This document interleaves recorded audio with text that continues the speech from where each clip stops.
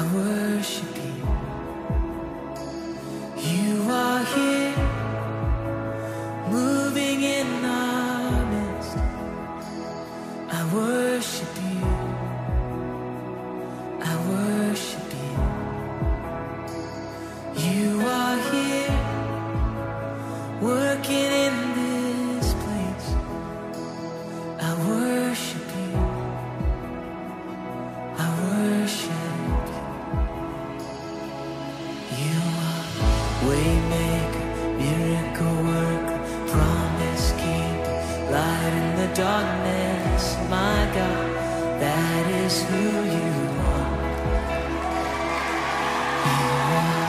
Waymaker, miracle worker, promise keeper, light in the darkness, my God, that is who you are.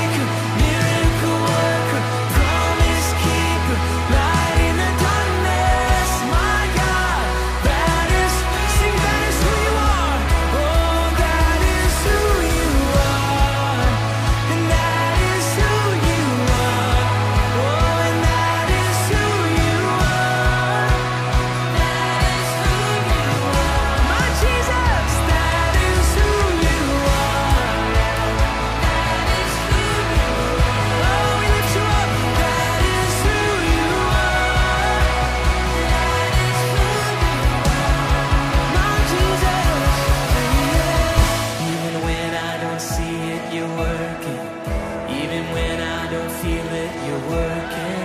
You never stop, you never stop working. You never stop, you never stop working. Come on! Even when I don't see it, you're working. Even when I don't feel it, you're working. You never stop, you never stop working. You never stop,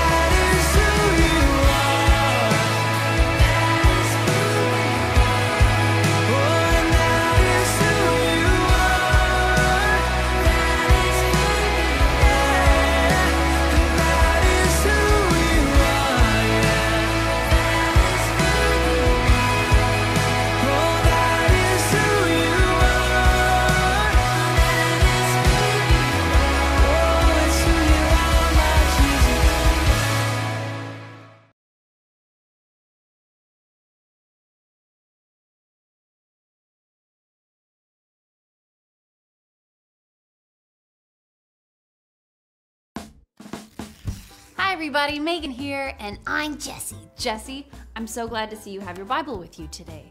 Thanks. I thought it would be cool if you could show me where today's Bible story is in the Bible. I love that, Jesse. Yes, today's Bible story is, let me see, it's um 2 Timothy chapter there we go. Chapter 3. 2 Timothy chapter 3. Nice. What's today's story about, Megan?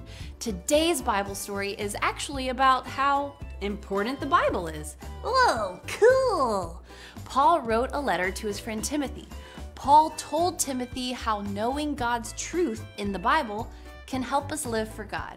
Let me tell you the story. A man named Paul wrote a letter to his friend Timothy. Paul was a follower of Jesus. He was also a missionary. He traveled to tell other people about Jesus. Timothy had helped Paul, and now Timothy was a church leader. We can read two of Paul's letters to Timothy in the Bible. Paul wrote to tell Timothy about living for Jesus and how to help others live for Jesus too. This is what Paul wrote Hard times are coming. Some people will not live for God. They will love themselves and money most of all. They will be proud and unloving. They will disobey their parents. Instead of loving God, they will do whatever they want. Stay away from these people. Paul reminded Timothy of Pharaoh's magicians who had challenged Moses in Egypt. They were foolish not to believe the truth. Paul wrote, You know me well, and you even suffered like I did. Everyone who wants to live for Jesus will face hard times too. Remember what you have learned and believed. The Word of God is able to give you the wisdom you need to be saved through faith in Jesus. Paul knew that the Bible helps people live for God. He said, All scripture comes from God. It is useful for showing us what is true, teaching us what is right and wrong, and training us how to live like God wants. With the Bible, everyone who follows God can be ready and have everything they need to do every good work. The Bible tells us about God's plan to forgive sinners through his son Jesus. Jesus always obeyed God's word. Like Jesus, we can read, believe, and obey the Bible as we live to give God glory.